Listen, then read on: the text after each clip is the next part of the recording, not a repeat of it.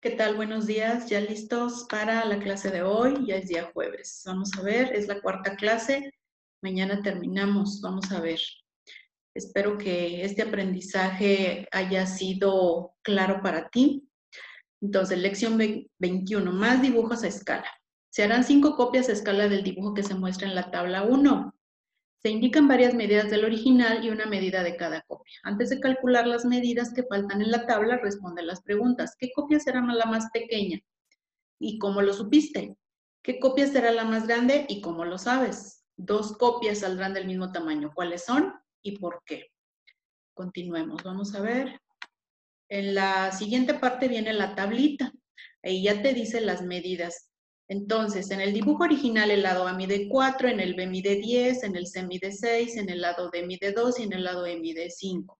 Entonces, cada unidad de este dibujo original, cada, lado eh, equivale a, una, a 1, ¿sí?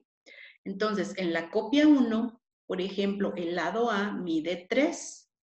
Entonces, ¿a cuánto equivale aquí en el factor de escala? ¿Sí? Eh, ese 3, si, si, A, si el lado A, que es 4, equivale a un 1, entonces si, si el lado de la copia 1 mide 3, ¿qué parte corresponde de ese 1 o de ese entero? En el lado B, si cada lado B mide 10, en la copia 2 mide 5, entonces ¿cuánto es de la copia 2? 5 de 10, ¿qué es? En la copia 3, 2 de 6, ¿qué es 2 de 6? En la copia 4 es 1 de 2. ¿Qué es 1 de 2? Entonces tú vas anotando todos los datos en la tablita, pero también sus factores de escala. En la copia 5 es 1, 1 de 5. ¿Qué parte es 1 de 5? Y ese sería el factor de escala. Bien, en la parte 2 dice que en parejas, pero pues tú estás trabajando de manera individual. Propongan, eh, propongan una forma de calcular todas las medidas de la copia 1 y anótalas.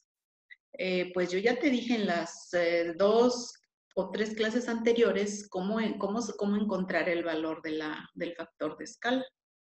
¿Sí? Bien.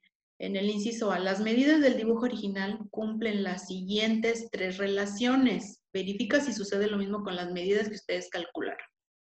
¿Sí? El lado A mide lo doble que el lado D.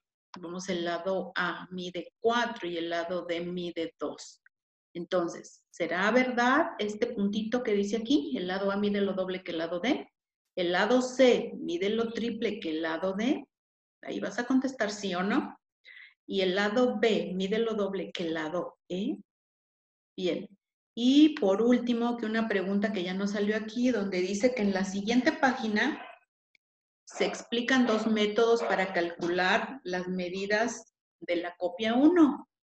Esa es la pregunta que ya no se observa por ahí, pero también hay que hacer hasta la, hasta el, hasta la siguiente página donde dice método del valor unitario y el método del factor de escala.